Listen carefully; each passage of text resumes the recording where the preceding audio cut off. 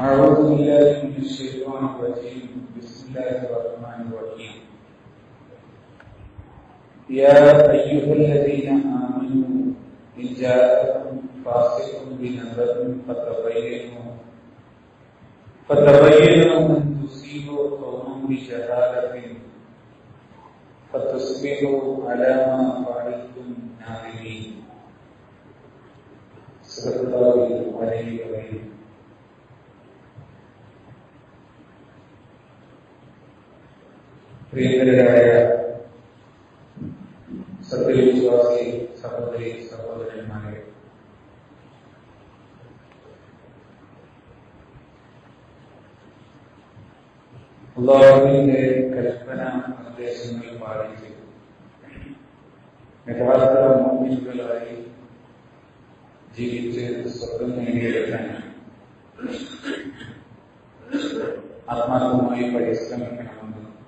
അതിനെ നിങ്ങളെ ഓർമ്മപ്പെടുത്തുകയും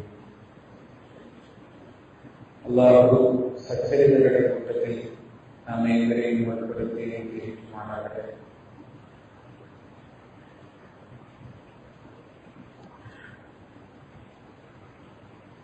നമ്മുടെ സമൂഹത്തിൽ നടന്നുകൊണ്ടിരിക്കുന്ന വ്യത്യസ്തതരം വിദ്വേഷ പ്രചരണങ്ങളോട് അതിൽ തന്നെയും കഴിഞ്ഞ കുറച്ച് ദിവസങ്ങളായി നമ്മുടെ നാട്ടിലെ കുടുംബങ്ങളെയൊക്കെ വലിയ ഭയപ്പാടിന്റെ ലോകത്തേക്ക് കൊണ്ടുവന്ന വലിയ വിവിധമായ ഒരു സാഹചര്യത്തെ കുറിച്ചുള്ള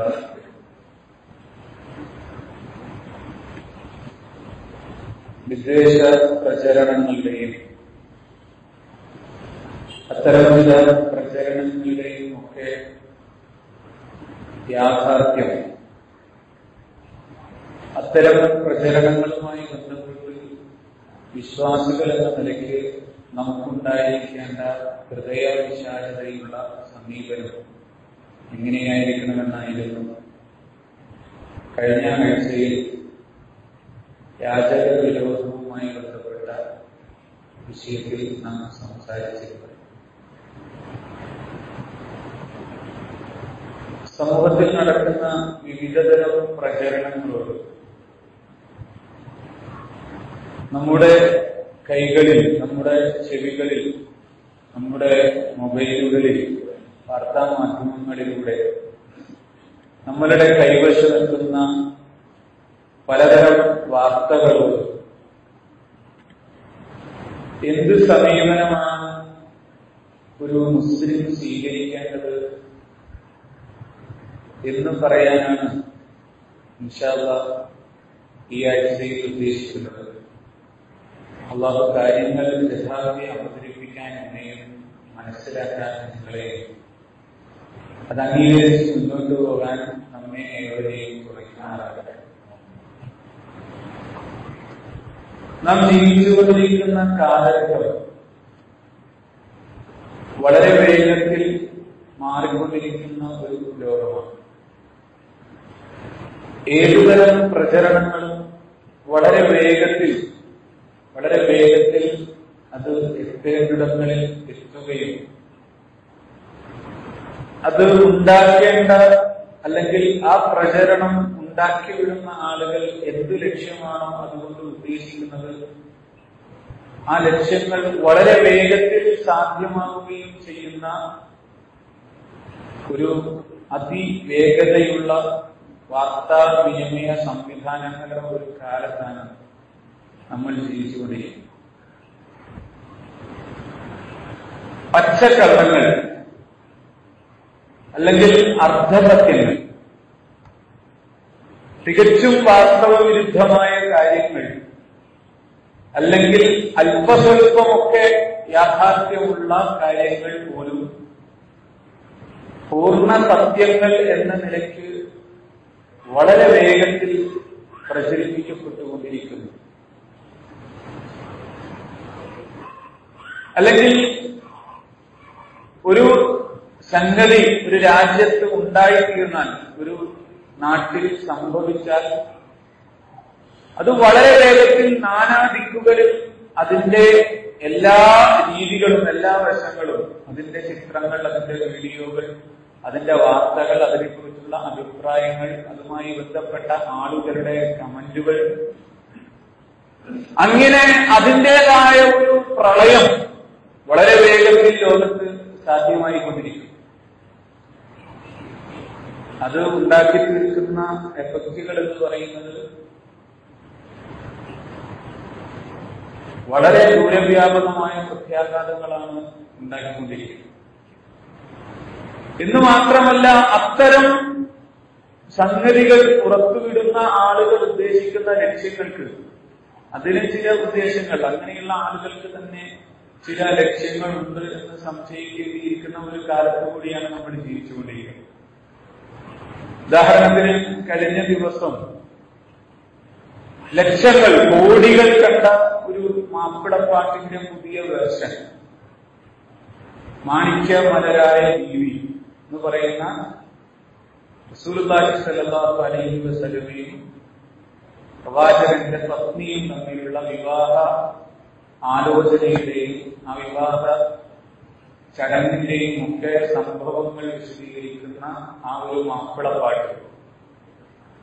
അത് ഒരു സിനിമാ ഗാനമായി ഒരൽപ്പം പ്രണയത്തിൽ ചാലിച്ച ഒരു ഗാനമായി ചിത്രീകരിക്കപ്പെട്ടു. അത് സമൂഹത്തിന്റെ നാവുകളിൽ കത്തിക്കളിക്കുന്ന ഒരു അവസ്ഥ വളരെ വേഗത്തിൽ ഒരു ദിവസം കൊണ്ട് അല്ലെങ്കിൽ ഇരുപത്തിനാല് ഇരുപത്തിയഞ്ച് നാൽപ്പത് നാൽപ്പത്തെട്ട് മണിക്കൂറുകൾക്കകം ലോകത്തിന്റെ നാനാ ഭാഷകളിലേക്ക് ഈ വാർത്ത എത്തുന്നു. അല്ലെങ്കിൽ ഈ സംഗീതം എത്തുന്നു. പക്ഷേ ഈ സംഗീതത്തെ കുറിച്ചോ അല്ലെങ്കിൽ അതിന്റെ ശരി തെറ്റുകളെ കുറിച്ചോ പറയാനല്ല എന്റെ ഉദ്ദേശം. ആ സംഗീതം ശരിയാണോ അല്ലെങ്കിൽ അതിൽ എത്രമാത്രം ശരിയുണ്ട് അത് ചെയ്തത് ശരിയായോ അല്ലെങ്കിൽ അങ്ങനെ ഒരു പാട്ട് സിനിമയിൽ എടുക്കുന്നത് സിനിമാ ഗാനമായി അവതരിപ്പിക്കുന്നതിനോട് നമ്മളെന്ത് നിലപാടെടുക്കണം എന്ന് പറയാനല്ല ഞാനിത് പറഞ്ഞത്. അങ്ങനെ പല പാട്ടുകളും അല്ലെങ്കിൽ നമ്മൾ നമ്മളുടെ നാവുകളിൽ നമ്മൾ പണ്ട് കേട്ടുകൊണ്ടിരുന്ന പല സിനിമാ ഗാനങ്ങളും ഇങ്ങനെ യുഗ്മഗാനങ്ങളായി അവതരിപ്പിക്കപ്പെട്ട പ്രണയ ഗാനങ്ങളായി അവതരിപ്പിക്കപ്പെട്ട മാപ്പിളപ്പാട്ടുകൾ തന്നെയാണ്.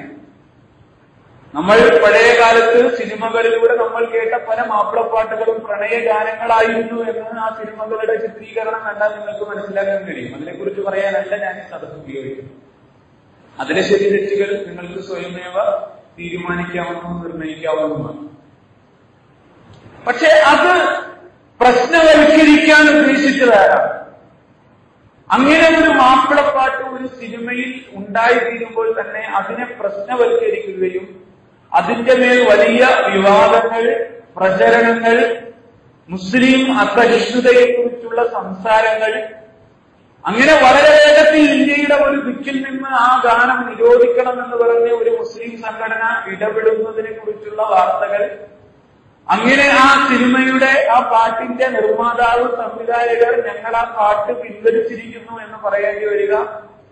പിന്നീട് പ്രേക്ഷകരുടെ അഭിപ്രായം മാനിച്ച് ഞങ്ങൾ അതിപ്പോൾ പിൻവലിക്കുന്നില്ല എന്ന് പറയുക.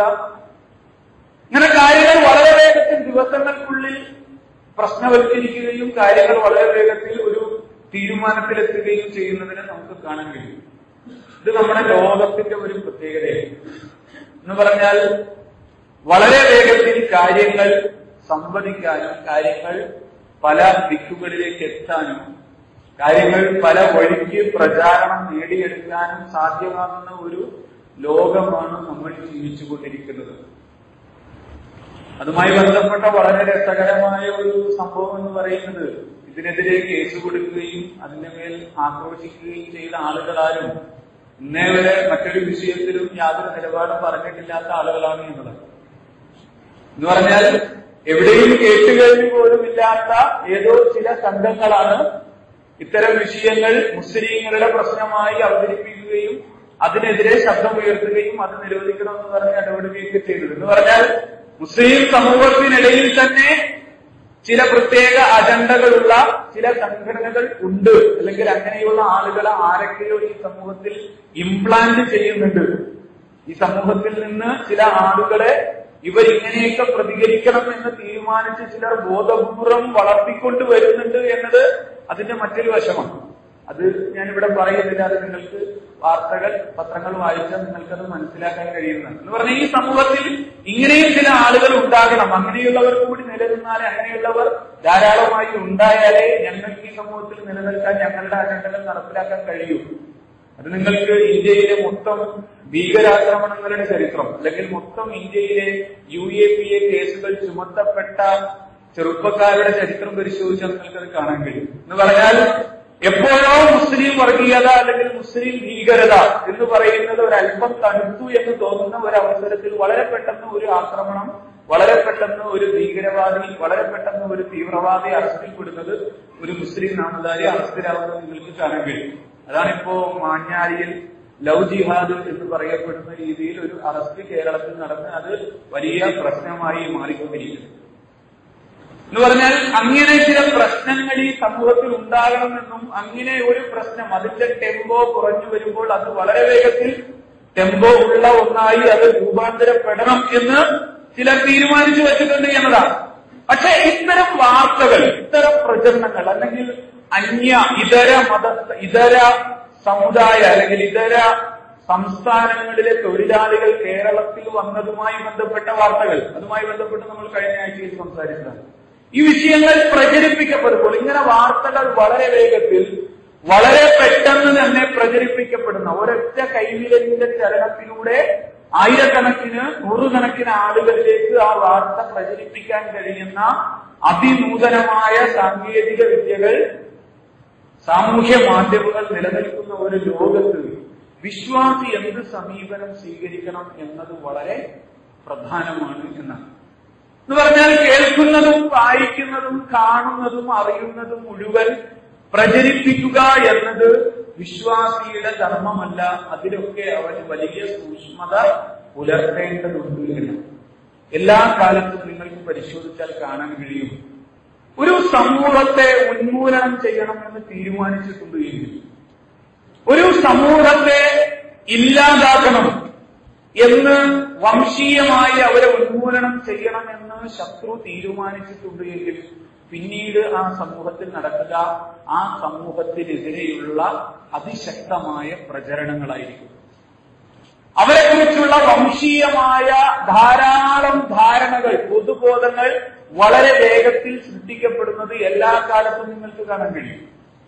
അവർ ഉന്മൂലനം ചെയ്യേണ്ടവരാണ്. ഇപ്പോ ഹിറ്ററുമായി ബന്ധപ്പെട്ടു ഹിറ്ററിന്റെ ജൂത ഹോളോകാസ്റ്റിനെ കുറിച്ചുള്ള ചരിത്രം നിങ്ങൾക്ക് പഠിക്കുമ്പോൾ ഹിറ്റ്ലറിന്റെ സന്തത സഹചാരിയായിരുന്ന അദ്ദേഹത്തിന്റെ പ്രധാനമന്ത്രിയായിരുന്ന ഗീബൽസിന്റെ തന്ത്രങ്ങളെ കുറിച്ച് ചരിത്രത്തിൽ നിങ്ങൾക്ക് വായിക്കാൻ കഴിയും. ഗീബൽസിന്റെ തന്ത്രങ്ങളുടെ ആകെ തുക എന്ന് പറഞ്ഞാൽ ഒരൊറ്റ വാക്കാണ്. ജൂതന്മാർക്കെതിരിലുള്ള നടപടികൾ ക്രൂരമാണ് എങ്കിലും ജൂതന്മാർ ആ ശിക്ഷയ്ക്ക് അർഹരാണ് എന്ന്. അതാണ് ഗീബൽസ് ഉണ്ടാക്കിയ ഒരു പൊതുബോധം എന്ന് പറയുന്നത്. എന്ന് പറഞ്ഞാൽ ജൂതന്മാർക്ക് ജൂതന്മാർക്കെതിരിലുള്ള നടപടികൾ ക്രൂരമാണ് എങ്കിലും അവരത് അർഹിക്കുന്നു എന്ന് പറയുന്ന ഒരു ബോധം മൊത്തം രാജ്യത്ത് സൃഷ്ടിക്കപ്പെട്ടിരുന്നു എന്ന് നിങ്ങൾക്ക് ആ ചരിത്രം പരിശോധിച്ചാൽ നിങ്ങൾക്ക് കാണാൻ കഴിയും. എന്ന് പറഞ്ഞാൽ ജൂതൻ എന്ന് പറയുന്നത് അങ്ങനെ ശിക്ഷിക്കപ്പെടേണ്ടുന്ന വണ്ണം സമൂഹത്തിൽ അപരവൽക്കരിച്ച അന്യവൽക്കരിക്കപ്പെട്ട സമൂഹത്തിൽ നിന്ന് മാറ്റി നിർത്തപ്പെട്ട ഒരു ജനതയാക്കി മാറ്റിയിരുന്നു. അങ്ങനെയാണ് പ്രചരണം നടക്കുക. അമേരിക്കയിലെ കറുത്ത വർഗക്കാർ അമേരിക്കയിലെ കറുത്ത വർഗക്കാർക്കെതിരെയുള്ള വംശീയ അധിക്ഷേപങ്ങളുടെയും വംശീയ ആക്രമണങ്ങളുടെയും സമകാലിക വാർത്തകൾ പോലും നമുക്ക് വായിക്കുമ്പോൾ നമുക്ക് മനസ്സിലാക്കാൻ കഴിയും. ഒരു കറുത്തവൻ എന്ന് പറഞ്ഞാൽ ഒരു ക്രിമിനൽ എന്ന് പറയുന്ന ഒരു മെന്റാലിറ്റി. അങ്ങനെ ഒരു ബോധം അങ്ങനെ ഒരു സമൂഹ മനസ്സ് സൃഷ്ടിക്കപ്പെട്ട ഒരു അവസ്ഥ ആ രാജ്യത്തുണ്ട് എന്നതാണ്. ഇന്ത്യയിലെ മുസ്ലിം സമൂഹം ഇതിൽ നിന്ന് വിഭിന്നമല്ല. നിങ്ങൾ ആക്രമിക്കപ്പെടുന്നുണ്ട് എങ്കിൽ നിങ്ങൾ കൊല ചെയ്യപ്പെടുന്നുണ്ട് എങ്കിൽ നിങ്ങൾ അത് അർഹിക്കുന്നു എന്ന് പറയുന്ന ഒരു ബോധം ഈ രാജ്യത്ത് വളരെ വേഗത്തിൽ സൃഷ്ടിക്കപ്പെട്ടുകൊണ്ടിരിക്കുകയാണ്. മുസ്ലിം സമൂഹം അപരവൽക്കരിക്കപ്പെടുന്നു അന്യവൽക്കരിക്കപ്പെടുന്നു. അവർ മറുചേരയിൽ ഉള്ള ആളുകളാണ് എന്ന് ചിത്രീകരിക്കപ്പെടുന്നു. എന്ന് പറഞ്ഞാൽ ഒരു മുസ്ലിം അല്ലാത്ത ഒരു മുസ്ലിം ഏതര മനുഷ്യൻ ഒരു തെറ്റ് ചെയ്താൽ അത് തെറ്റായി മാത്രം വായിക്കപ്പെടുന്ന ഈ രാജ്യത്ത് ഒരു മുസ്ലിം ചെയ്യുന്ന തെറ്റ് അതൊരു മുസ്ലിമിന്റെ തെറ്റായി മാറുകയും അത് ഒരു രാജ്യവിരുദ്ധ പ്രവർത്തനമായി മാറുകയും വളരെ എളുപ്പത്തിൽ സാധ്യമാകുന്നു. എന്നും പറഞ്ഞതുപോലെ തന്നെയാണ് ഇതര സംസ്ഥാന തൊഴിലാളികൾക്കെതിരെയുള്ള വർത്തമാനങ്ങൾ. എല്ലാ സമൂഹത്തിലും ക്രിമിനലുകളുണ്ട്. എല്ലാ ആളുകളിലും ക്രിമിനലുകളുണ്ട്. എന്ന് പറഞ്ഞാൽ എത്ര ആളുകളാണ് കേരളത്തിലുള്ള ഇതര സംസ്ഥാന അല്ലെങ്കിൽ അതിഥി അതിഥി സംസ്ഥാന തൊഴിലാളികളുള്ളത് മുപ്പത് ലക്ഷം എന്നാണ് അതിന്റെ ഏകദേശമുള്ള കണക്ക്.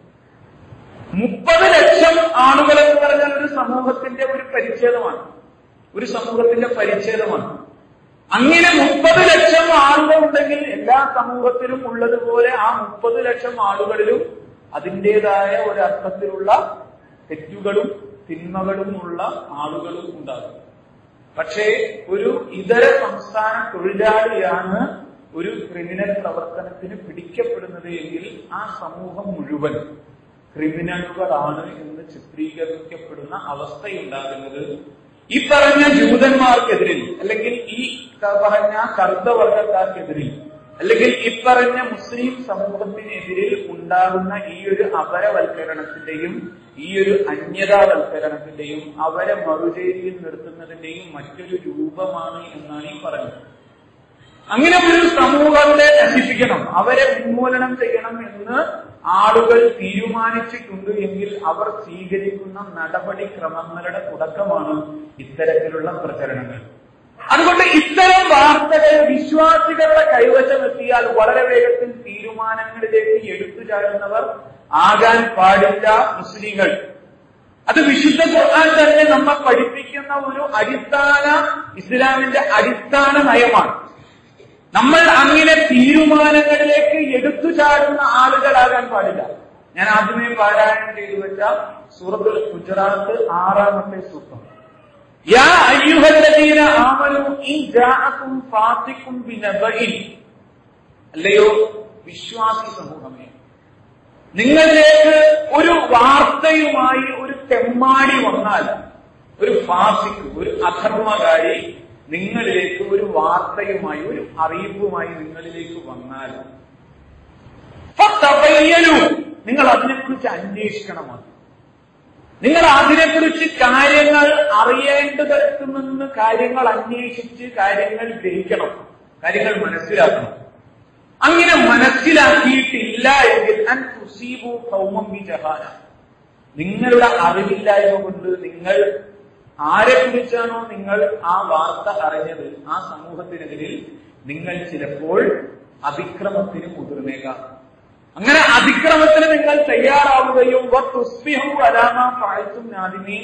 പിന്നീട് കാര്യം യാഥാർത്ഥ്യം നിങ്ങൾ അറിഞ്ഞു കഴിയുമ്പോൾ നിങ്ങൾ ചെയ്തു പോയതിനെ കുറിച്ച് ഓർത്ത് ഖേദിക്കേണ്ടിയും വന്നേക്കാം. എന്നതുകൊണ്ട് നിങ്ങളിലേക്ക് ആരെങ്കിലും ഒരു കാര്യം പറഞ്ഞാൽ ആ കാര്യത്തിന്റെ നിജസ്ഥിതി അറിയാതെ അതിനുമേൽ നിങ്ങൾ തീരുമാനങ്ങൾ എടുത്ത് എടു- എടുത്തു ചാടരുത്. നിങ്ങൾ അത് പ്രചരിപ്പിക്കരുത് എന്നത് ഇസ്ലാമിന്റെ അടിസ്ഥാനമാണ്. ഇത് പറഞ്ഞത് വ്യക്തിപരമായ ഒരു സംഭാഷണം എന്ന നിലയ്ക്ക് വിശുദ്ധ ഖുർആൻ എന്ന് പറഞ്ഞാൽ എന്നോട് ഒരാൾ മറ്റൊരാളെ കുറിച്ച് എന്തോ ഒരു കാര്യം പറഞ്ഞപ്പോൾ ഞാൻ അതിനെക്കുറിച്ച് മറ്റൊരാളോട് പറഞ്ഞതിനെ കുറിച്ച് പറഞ്ഞത് പോലുമല്ല. ഇതുപോലെ ഒരു സമൂഹത്തെ കുറിച്ചുള്ള കൃത്യമായ ഭീതി ജനിപ്പിക്കുന്ന വർത്തമാനം ഒരു സഹാബിയുടെ ഭാഗത്തു നിന്ന് റസൂൽഹി സലാഹു അലൈഹി വസ്ലമയുടെ സമൂഹത്തിന് ഉണ്ടായപ്പോൾ ആ സമയത്ത് അവതരിച്ച ആയത്താണ് ഈ സൂറത്ത്. ആ സമയത്ത് അവതരിച്ച സൂറത്താണ് ഗുജറാത്ത് ആ സൂറത്തിലെ ആ വിഷയത്തെ കുറിച്ച് പ്രതിപാദിക്കുന്ന ആയത്താണ് സൂറത്ത് ഗുജറാത്തിലെ ഈ ആറാമത്തെ സൂക്തം എന്ന് പറയുന്നത്. റസൂലുള്ളാഹി സ്വല്ലല്ലാഹു അലൈഹി വസല്ലമയുടെ കൂട്ടത്തിലെ സഹാബിയായിരുന്ന വലീദ് ഉഖുബ റളിയല്ലാഹു മുസ്തലിഖ് ഗോത്രം ഇസ്ലാം സ്വീകരിച്ചു. മുസ്തലിഖ് എന്ന് പറയുന്ന ഗോത്രം മുഴുവൻ ഇസ്ലാം സ്വീകരിച്ചു. അങ്ങനെ ഇസ്ലാം സ്വീകരിച്ച ആ ഗോത്രത്തിലേക്ക് സക്കാത്ത് പിരിക്കുന്നതിന് വേണ്ടി വലിയതിന് ഉത്തുബ റളിയല്ലാഹു അനുഭവനെ റസൂലുള്ളാഹി സ്വല്ലല്ലാഹു അലൈഹി വസല്ലം നിയോഗിച്ചയച്ചു. അങ്ങനെ സക്കാത്ത് പിരിക്കാൻ വേണ്ടി അദ്ദേഹം ആ നാട്ടിലേക്ക് ആ ഗോത്രത്തിന്റെ അടുത്തേക്ക് യാത്ര പുറപ്പെട്ടപ്പോൾ അദ്ദേഹത്തെ എന്തോ ഒരു ഭയം പിടികൂടി. എന്ന് പറഞ്ഞാൽ അവരെങ്ങാനും എന്നെ ആക്രമിച്ചാലോ എന്നതായിരിക്കാം. അങ്ങനെ എന്തോ ഒരു ഭയം പിടികൂടി അദ്ദേഹം ആ ഗോത്രത്തിന്റെ അടുത്ത് ചെല്ലാതെ വഴിയിൽ വഴിമധ്യേ യാത്രയെ അവസാനിപ്പിച്ച് റസൂൽ സലാഹു അലൈഹി വസ്ലമയുടെ അടുത്തേക്ക് തിരിച്ചു വന്നിട്ട് റസൂലിനോട് പറഞ്ഞു ആ ഗോത്രത്തിന്റെ അടുത്ത് ഞാൻ ചെന്നു. അവരെന്നെ ആക്രമിക്കാൻ കഴിഞ്ഞു അവർ സക്കാത്ത് നിഷേധിച്ചിരിക്കുന്നു അവർ സക്കാത്ത് നിഷേധികളാണ് ആ ഗോത്രം എനിക്ക് സക്കാത്ത് തന്നില്ല അവരെന്നെ ആക്രമിക്കാൻ തുനിഞ്ഞു എന്ന് ഒരു ഗോത്രത്തെ കുറിച്ചുള്ള ഭീതിജനകമായ ഭീതി ജനിപ്പിക്കുന്ന ഗോത്രം എന്ന് പറഞ്ഞാൽ അന്നത്തെ രാഷ്ട്രമാണ്. പഴയ കാലത്തെ ആധുനിക രാഷ്ട്ര രാഷ്ട്രസങ്കല്പം ജനിച്ചിട്ടില്ലാത്ത പിറന്നിട്ടില്ലാത്ത ഒരു ലോകത്ത് ഗോത്രങ്ങൾ എന്ന് പറയുന്നത് വ്യത്യസ്ത നാട്ടുരാജ്യങ്ങൾക്ക് തുല്യമാണ്. അങ്ങനെ തൊട്ടടുത്തുള്ള നാട്ടിലെ ഒരു രാഷ്ട്രം നമ്മെ എതിരിടാൻ നമ്മുടെ ദൂതനെ ആക്രമിക്കാൻ നമ്മുടെ പ്രതിനിധിയെ ആട്ടിപ്പായിക്കാൻ തയ്യാറായിരിക്കുന്നു. ആ സമൂഹം നമ്മെ ശത്രുവായി തീരുമാനിച്ചിരിക്കുന്നു എന്ന് പറയുന്നതിന് തുല്യമാണ് ഈ പറഞ്ഞ വർത്തമാനം. അപ്പോഴാണ് ആ ഗോത്രത്തിന്റെ തലവനായ ഹാരിസ് വിറാർ അബിയല്ലാഹു റസൂൽബാഹി സല്ലാഹു അലൈഹി വസ്ലമയുടെ അടുത്തേക്ക് യാദൃശികമായി എത്തിപ്പെടുന്നു. റസൂലുള്ള അവരോട് ചോദിച്ചു നിങ്ങൾ എന്ത് പണിയാണ് കാണിച്ചത്? നിങ്ങൾ എന്തിനാണ് ഇങ്ങനെ പ്രവർത്തിച്ചത്? അപ്പോൾ ഹാരിസ് റബി അള്ളാഹു പറഞ്ഞ് ഞങ്ങൾ അങ്ങനെ ഒന്നും ഞങ്ങളുടെ ഭാഗത്തു നിന്ന് ഉണ്ടായിട്ടില്ല. ഇത് അദ്ദേഹം പറഞ്ഞ ഒരു പ്രചരണം മാത്രമാണ്. ഈ സമയത്ത് ഈ സഹാബിയെ കുറിച്ച് അവതരിച്ച സൂറത്താണ് ആയത്താണ്. വിശുദ്ധ ഖുർഹാനിന്റെ ആയത്ത്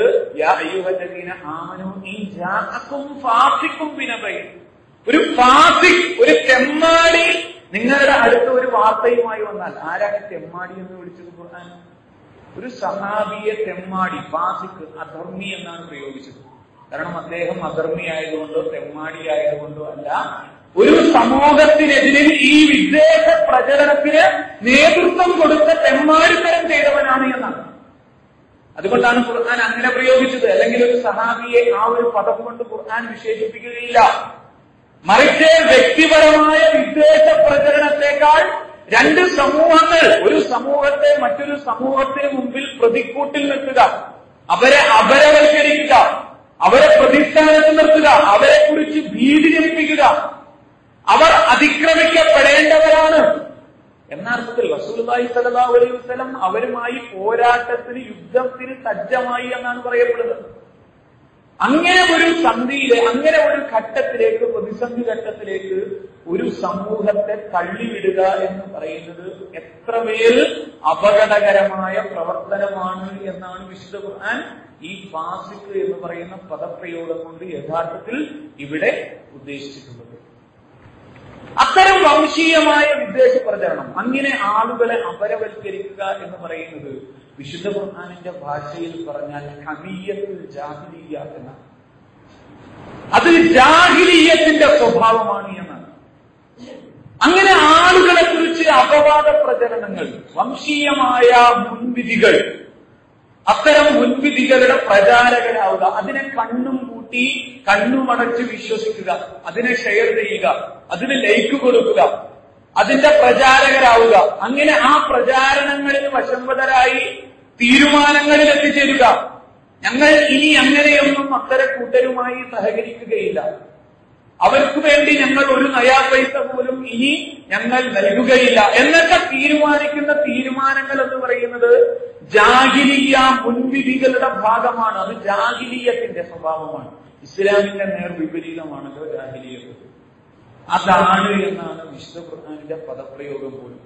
വിശുദ്ധ ഖുർആൻ പറയുന്നുണ്ട് റസൂലുള്ളാഹി സ്വല്ലല്ലാഹു അലൈഹി വസല്ലമയും സമൂഹവും എല്ലാവർക്കും അനുവദിക്കപ്പെട്ട അവകാശമായിരുന്നു ഹജ്ജ് എന്ന് പറയുന്നത്.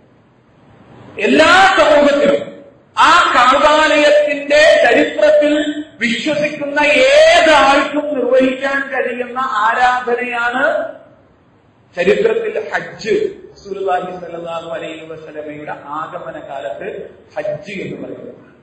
ഏത് സമൂഹത്തിലും സ്വച്ഛമായി നിർവഹിക്കാം. ആ കാലഘട്ടങ്ങളിൽ ഹജ്ജ് നിർവഹിക്കാനുള്ള എല്ലാ മണ്ണും ഒരുക്കുന്നതിന് വേണ്ടിയിട്ടാണ് യുദ്ധം പോലും പ്രവാചകന് മുൻപുള്ള കാലം മുതലേ മാസങ്ങൾ പവിത്രമാക്കപ്പെട്ടിരുന്നത്. യുദ്ധം നിഷിദ്ധമായ മാസങ്ങൾ ഉണ്ടായിരുന്നത് നാല് പവിത്ര മാസങ്ങൾ നിശ്ചയിക്കപ്പെട്ടു.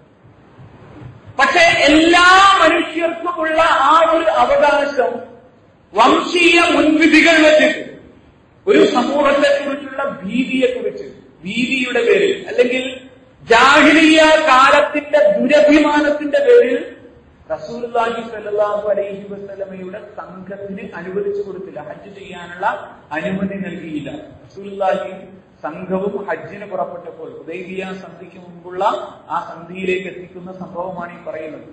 റസൂലുള്ളയും സംഘവും ഹജ്ജിന് പുറപ്പെട്ടപ്പോൾ വഴിയിൽ വെച്ച് അവരെ തടഞ്ഞ ആ സന്ദർഭത്തെ ഉദ്ധരിച്ചുകൊണ്ട് വിശുദ്ധ ഖുർആൻ പറയുന്നുണ്ട്. ഇത് ജാലല്ലദീന കഫറു ഫീ ഖുലൂബിഹിമുൽ അമീയത. അങ്ങനെ സത്യനിഷേധികളായ ആളുകളുടെ മനസ്സിൽ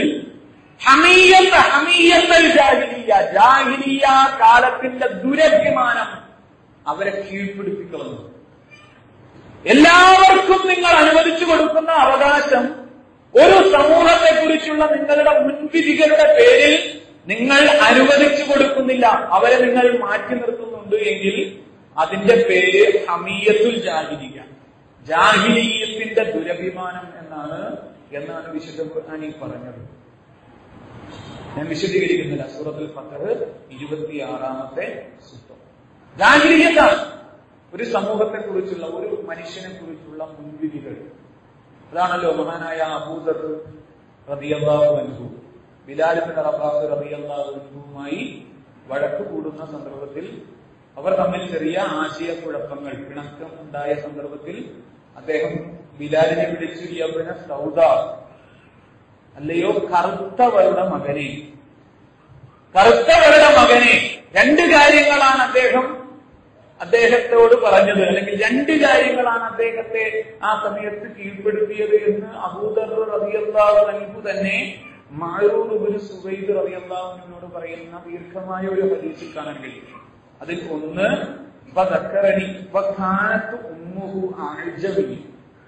അതിലൊന്ന് അവന്റെ ഉമ്മ ഇതര നാട്ടിലുള്ള ആളായിരുന്നു എന്ന്.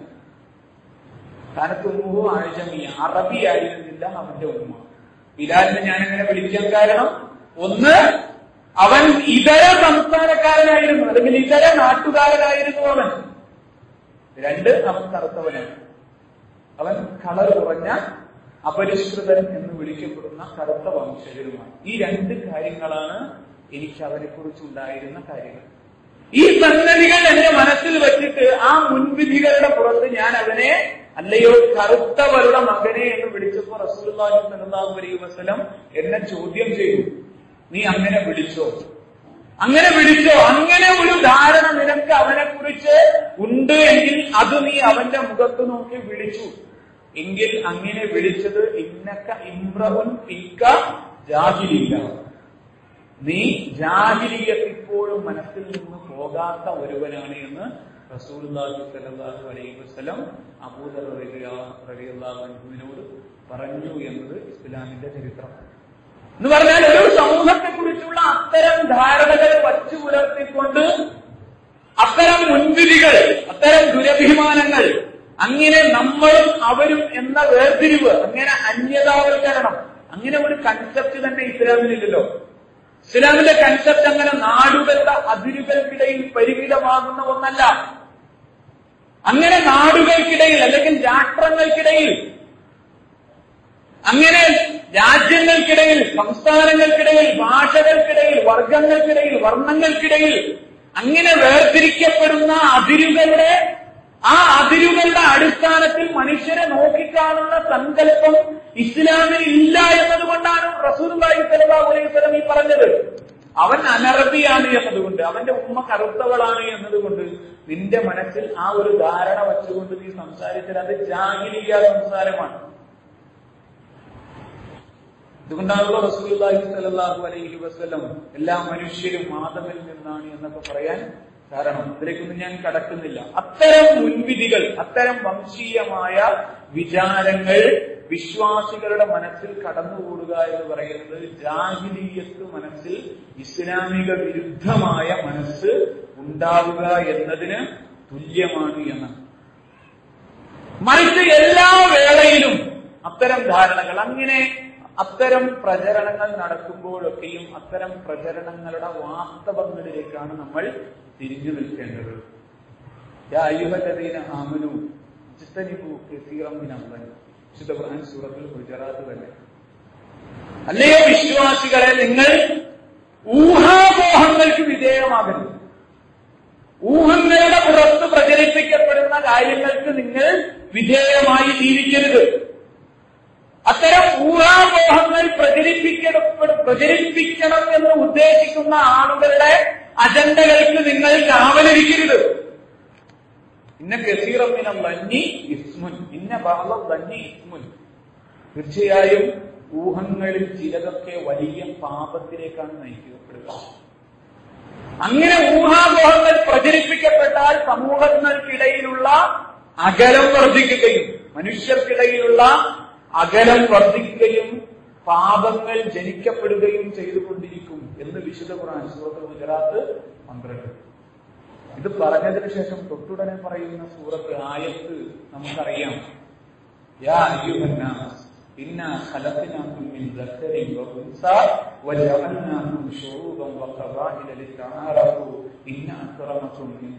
അത്ഖാ ഈ ഊഹാമോഹങ്ങളുടെ പ്രചരണങ്ങൾ പറഞ്ഞതിന് ശേഷമാണ് വിശുദ്ധ ഖുർആനിൽ പറഞ്ഞത്. അങ്ങനെ ആളുകൾ പരസ്പരം മകരുക. നിങ്ങൾക്കൊരു സമൂഹത്തോട് വിദ്വേഷം പ്രചരിപ്പിക്കുക. ഒരു സമൂഹത്തെക്കുറിച്ച് വിദ്വേഷ പ്രചരണം നടത്തുക. ആ സമൂഹത്തെക്കുറിച്ചുള്ള ഇത്തരം പ്രശ്നങ്ങളെ മഹ ഇത്തരം പർവതീകരിക്കുക. ചെറിയ പ്രശ്നങ്ങളെ പർവതീകരിച്ച് ഒരു സമൂഹത്തെ മാറ്റി നിർത്താൻ നിങ്ങൾ തീരുമാനങ്ങളിലെത്തുക. അങ്ങനെ എത്തിയാൽ നിങ്ങൾ മനസ്സിലാക്കേണ്ടത് അല്ലയോ ജനങ്ങളെ നിങ്ങളെ നാം സൃഷ്ടിച്ചത് ഇന്ന സലഫിനാക്കും ഒരൊറ്റ ആണിൽ നിന്നും പെണ്ണിൽ നിന്നുമാണ്. എന്നിട്ട് നിങ്ങളെ ഗോത്രങ്ങളും സമൂഹങ്ങളും വ്യത്യസ്ത നിറത്തിലും വ്യത്യസ്ത ഭാഷയിലും വ്യത്യസ്ത അതിർത്തികളിലും നിങ്ങളെ നാം നിർത്തിയിട്ടുള്ളത്. നിങ്ങൾ പരസ്പരം തിരിച്ചറിയാൻ വേണ്ടിയിട്ടുള്ള അടയാളങ്ങളായി മാത്രമാണ്. എന്നിട്ട് ഈ ബന്ധങ്ങൾ ഉൾപ്പെടെയുള്ള കാര്യങ്ങൾ. ഇത്തരം ഈ വിഭിന്നതകൾ ഉൾപ്പെടെയുള്ള കാര്യങ്ങളിൽ അള്ളാഹുവിനെ സൂക്ഷിക്കാൻ തയ്യാറാകുന്ന ആളുകളാണ് അള്ളാഹുവിന്റെ അടുത്ത് ഏറ്റവും ആദരിക്കപ്പെടുന്ന ആളുകൾ. അങ്ങനെയാണ് ആയത്തിനെ നമ്മൾ വായിക്കേണ്ടത്. അങ്ങനെയുള്ള ഈ അന്തരങ്ങളിൽ പോലും ഈ അന്തരങ്ങളൊക്കെ ഉണ്ടായിരിക്കെ തന്നെ. നാം കഴിഞ്ഞ കുത്തുവയിൽ സൂചിപ്പിക്കുകയുണ്ടായി. ആരാണോ?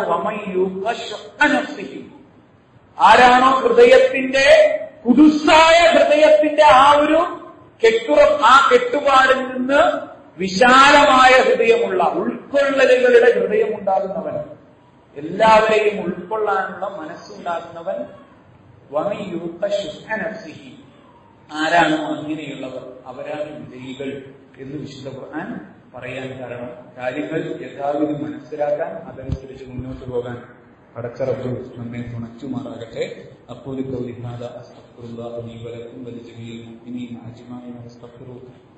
ഹുവൽ ഗഫൂറുർ റഹീം.